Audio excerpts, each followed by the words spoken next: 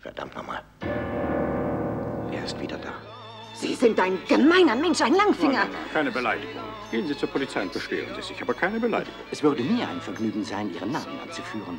Aus der Sammlung von Monsieur Arsène Lupin.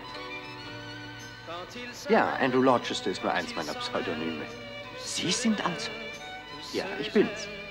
Dann lasse ich Ihnen das Bild für 200.000 unter Künstlern.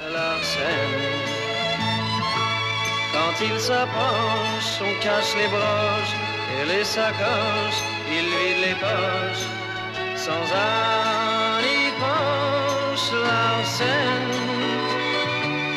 c'est le roi des casseurs, c'est le roi du temps. Sind Sie wirklich sicher, dass Sie sie selbst sind? Das ist dermaßen unglaublich. Noch unglaublicher, als Sie glauben. Ich wechsle sehr oft mein Gesicht. Il s'amène, quand il s'en mêle, tout se démêle, tout se dégèle, et sans sorcelle, Larsen, c'est le roi Das ist er jedenfalls nicht, das Ihnen.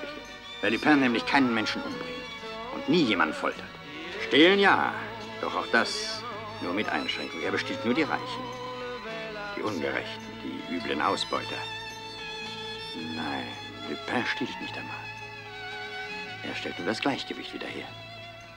Lupin hat saubere Hände.